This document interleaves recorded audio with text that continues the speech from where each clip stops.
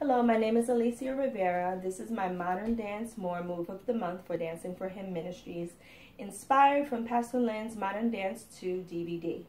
Today's move will include center floor work. So beginning in first position, turned in, parallel.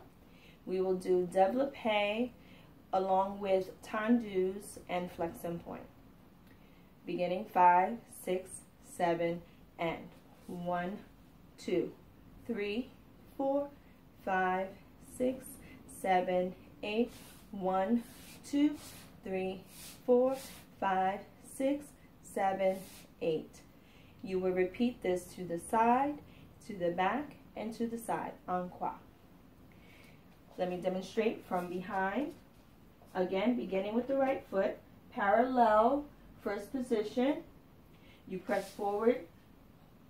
I'm sorry, you press up, you pull up in passe, turned in, press forward, flex, bring it back into passe, and down to first. Then you would tendu three times. One, two, three, four, five. The third time you would do flex, point, and back in for seven, eight. So at tempo, five, six, seven, and one, two, three, four, five, six, seven, eight. One, two, three, four, five, six, seven, eight.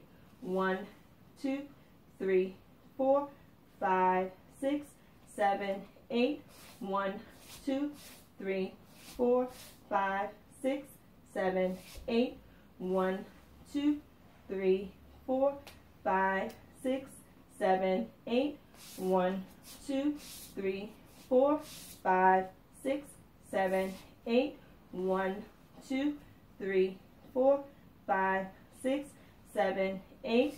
One, two, three, four, five, six, seven, eight. Thank you for joining me and keep dancing for him.